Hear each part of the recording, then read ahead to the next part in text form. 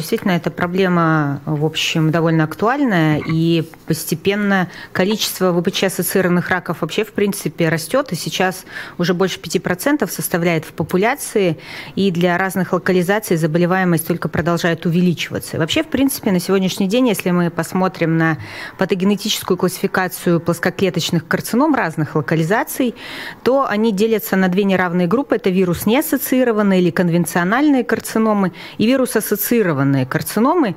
Более того, уже для женского полового тракта э, факт ассоциации с вирусом является одним из классификационных критериев для того, чтобы э, нозологически наименовать новообразование. Но тут немножко нужно обратиться к эмбриологии, потому что вирус имеет сродство к определенным локациям. И если мы посмотрим, то наибольшая частота HPV-ассоциированных карцином встречается именно в переходных зонах, там, где эктодерма встречается с энтодермой. И вообще э, вот эти зоны трансформации или переходные зоны являются локус минорис резистенцию или слабыми местами. И это определяется в том числе биологией вируса и способностью к его репликации. Но если мы пойдем сверху вниз, то стоит начать, конечно, с опухоли головы и шеи, где также все карциномы делятся на эти две неравные группы. Если говорить о вирус-ассоциированных, то помимо HPV-позитивного плоскоклеточного рака, который имеет сродство к орофарингеальной зоне, частота которых там наибольшая, есть еще э, каноническая форма вирус-ассоциированной карциномы, это Эпштейн-Бар вирус ассоциированный назофарингеальный рак, который также э, имеет определенную эндемичную различную а, встречаемость и ассоциирован с а, рядом других факторов. Но если мы будем говорить о плоскоклеточном раке орофарингеальной зоны, то, конечно, невольно хочется его сравнивать с конвенциональными карциномами. А, и почему вообще такая группа была выделена последние годы? Потому что в развитых странах доля HPV-позитивных карцином на сегодняшний день для органов головы и шеи достигает в некоторых странах 70%. И, как правило, это мужчины, в 3-4 раза чаще, чем женщины. И, как правило, это относительно молодые мужчины. То есть по сравнению с средним возрастом HPV-негативного конвенционального плоскоклеточного рака, который составляет 60-70 лет, это на 10-20 лет люди гораздо более молодые. И здесь, конечно, совершенно разные э, прекурсоры и разные факторы риска, потому что обычный орофарингеальный рак он ассоциирован с курением, употреблением алкоголя и малосоциальным образом жизни, в то время как HPV-позитивные карциномы, вне зависимости от локализации, в первую очередь ассоциированы с сексуальным поведением, э, в дальнейшем с различными причинами, которые характеризуются персистенцией э, воспалительных агентов и длительного э, воспалительного ответа. Что касается презентации, то, собственно, интерес, почему эта зона привлекает, потому что редко а, опухоль манифестирует с первичного эффекта, то есть редко обнаруживаются изменения, собственно, в миндалинах.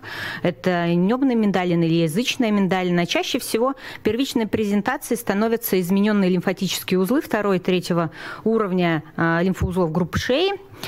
А, и нередко это именно кистозные э, образования, которые могут быть клинически расценены как боковые кисты шеи и некоторое время наблюдаться, прежде чем э, выполняется исследование для верификации процесса.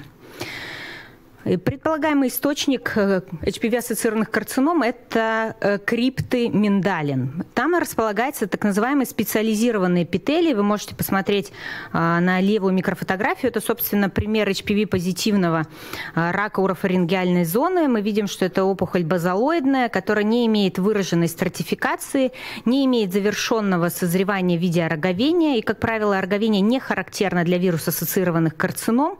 И они напоминают, собственно, и по своей архитектуре, и по цитологии эпителий э, криптминдалины – и э, на сегодняшний день не существует понятия карцинома инситу для криптоминдалин, потому что они ассоциированы э, на момент диагностики, эти изменения уже с наличием регионарных лимфатических узлов, пораженных опухолью, и связано это с тем, что в миндалинах имеется э, специализированный так называемый лимфоэпителий, который обладает перфорированной базальной мембраной, что необходимо для проникновения лимфоцитов э, в эпителий для иммунизации, реализации локального иммунитета, иммунитета, а, и это же облегчает, собственно, проникновение опухоли и раннюю ее лимфогенную диссеминацию. И вы видите, выраженная лимфоидная инфильтрация стромы характерна также для HPV-позитивных раков. Это имеет, а, на самом деле, такой бинарный механизм. С одной стороны, а, инфицированные вирусом эпителиальные клетки демонстрируют э, неоантигены чужеродные, которые распознаются иммунной системой, и она приходит на борьбу с этой карциномой и довольно эффективно может ее сдерживать продолжительное время. А с другой стороны, для того, чтобы опухоль могла реализовать свой инвазивный потенциал, ей необходимо подготовить почву, и ей необходимо вот этот вот воспалительный ответ в а, локальной строме для того, чтобы, собственно, приобрести способность к инвазии. И это здорово отличается от конвенциональных плоскоклеточных карцином. Она представлена на микрофотографии справа.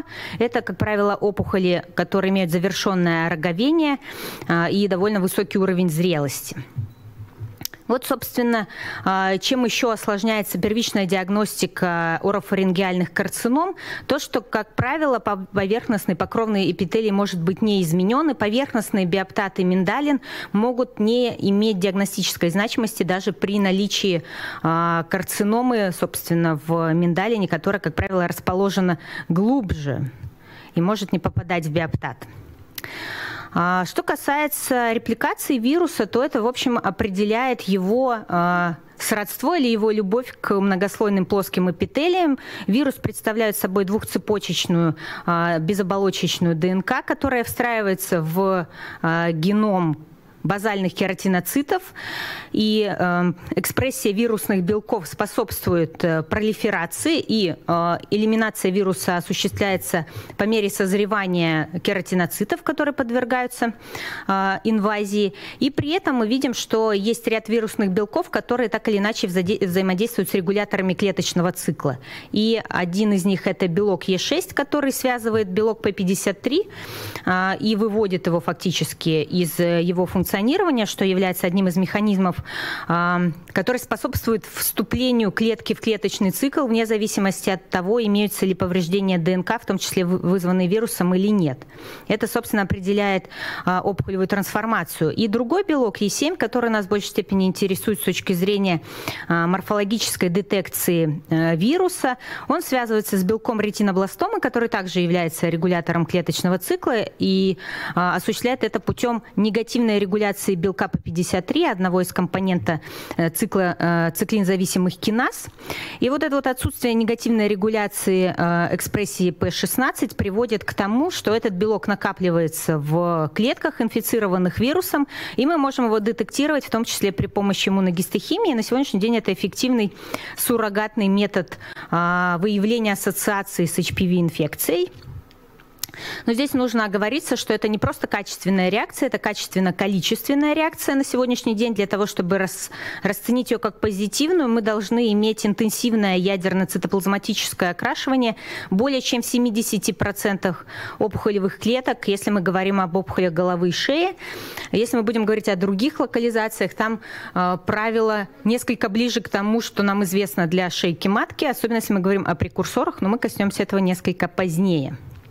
Ну и мы постепенно, в общем, э, спустимся ниже. Если говорить о плоскоклеточных карциномах э, пениса, то это также две большие группы, которые разнятся в зависимости от ассоциации с вирусом, но э, здесь мы видим группировку по э, гистологическим вариантам карцином в зависимости от ассоциации или ее отсутствия.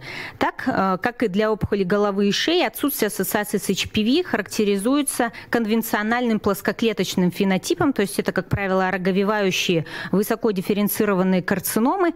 И видите, карциномы, которые имеют псевдогиперпластическую или рукозную а, морфологию, то есть характеризуются терминальным созреванием, что, собственно, не характерно для вирус-инфицированных раков. И саркоматоидные карциномы также, как правило, не ассоциированы с HPV, потому что патогенез их а, развития отличается. Это, как правило, очень большое количество мутаций, что может быть ассоциировано либо с курением, либо с тяжелым ультрафиолетовым повреждением, но не ассоциировано с вирусными поражениями.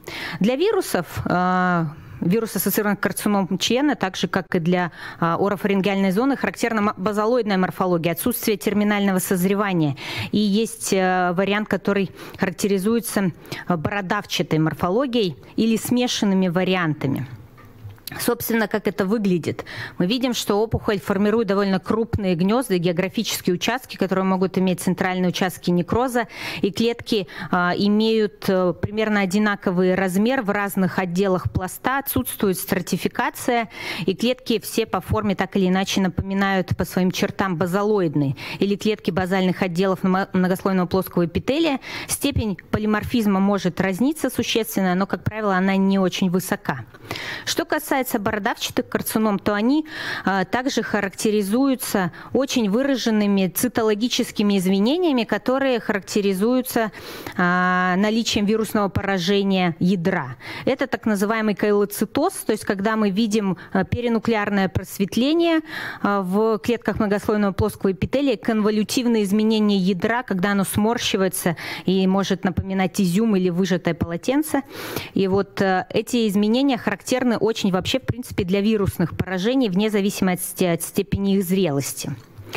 Что касается детекции ассоциации с вирусом, то здесь несколько меньше данных, чем для орофарингеальной зоны, но тем не менее на сегодняшний день, а, как мы уже говорили, P16 является эффективным суррогатом, но у него есть э, ряд объективных ограничений, потому что а, потеря функции РБ, а, вызванная другими причинами, как э, структурными или генетическими в виде мутации и потери этого гена, так и эпигенетическими, может приводить к накоплению белка P16 даже при отсутствии а, вирусных белков.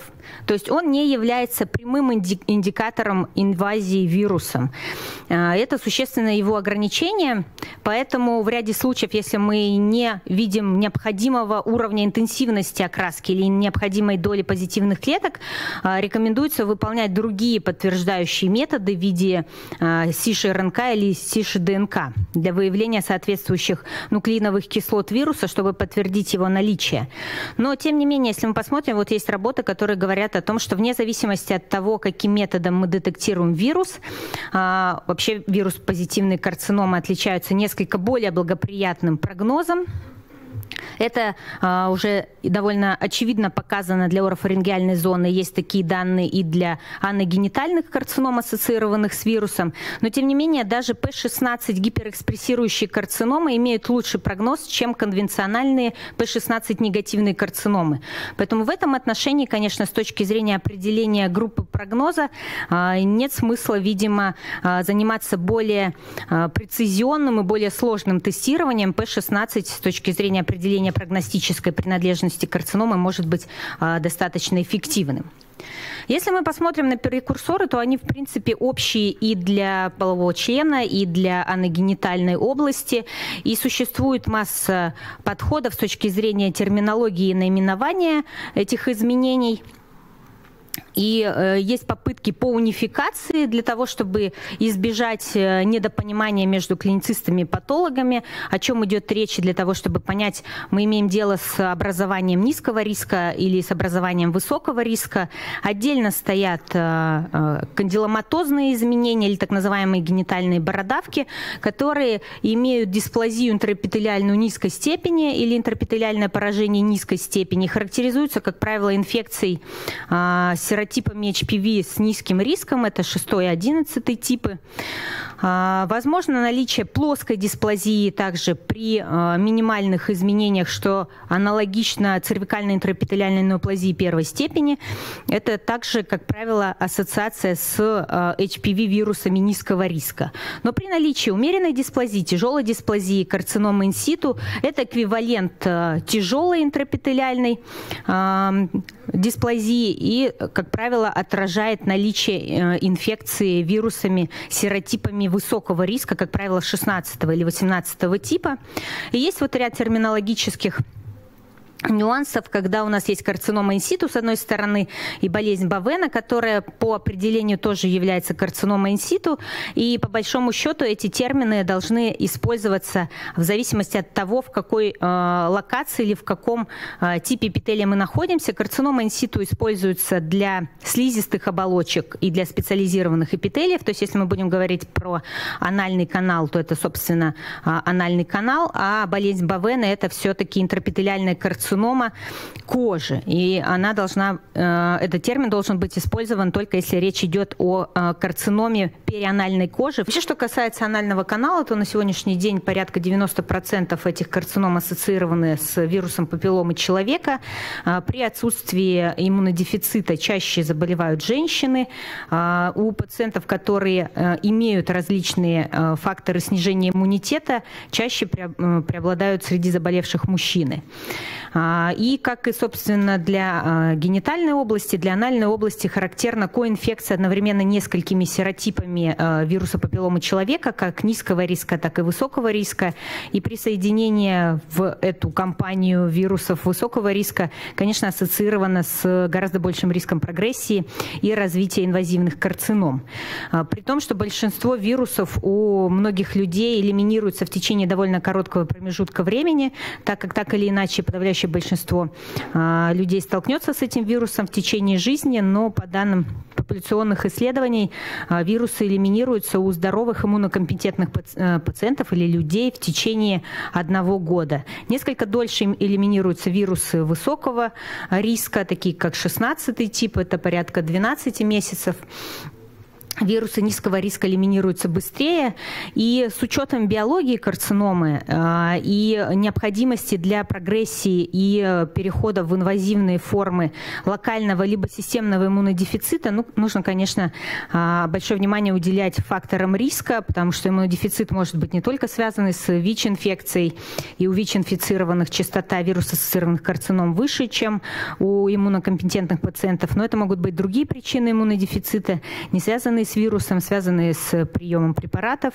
А, безусловно, половое поведение имеет большое а, влияние, и чем выше количество половых партнеров, партнеров тем выше риск получить высокоагрессивные серотипы вируса и, а, собственно, развить прекурсоры и инвазивные карциномы, ассоциированные с инфекционными агентами, а также факторы, которые влияют на локальный иммунитет, также могут быть способствующими локальной прогрессии.